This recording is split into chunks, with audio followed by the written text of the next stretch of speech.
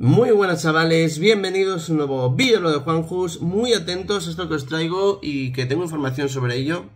Y es que, eh, según Blooper, cada vez se huele más que van a hacer un salame diario en Netflix, las señales que dejaron sus colaboradores en el estreno de su docu-reality. Y es que si preguntas eh, a esta gente, a los colaboradores, han dado pie a pensar que esto va a ser real. Por ejemplo, Belén Esteban ha dicho que la productora de la fábrica de tele ya es independiente.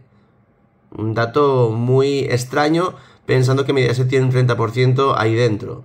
Por otro lado, María Patiño se la ve muy relajada para estar despedida en diciembre y también dice que su deseo sería ese programa diario. Y bueno, los demás los vemos demasiado felices y sonrientes como ocultando algo.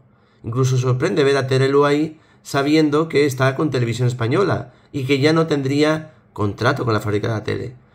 Es verdad que hay indicios para pensar que pasa algo, pero también puede ser, porque a día de hoy nada se ha filtrado, de que simplemente sean ganas de hacer daño a Mediaset, de darles a entender eso, para que, digamos, se replanteen el recuperar Salme y engañarles, ¿no? Que puede ser.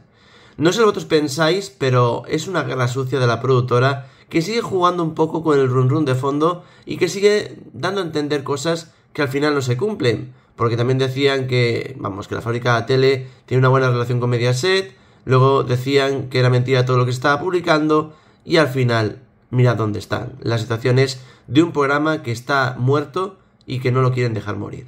Comentad, opinad, suscribiros. Beso enorme. Chao, chao.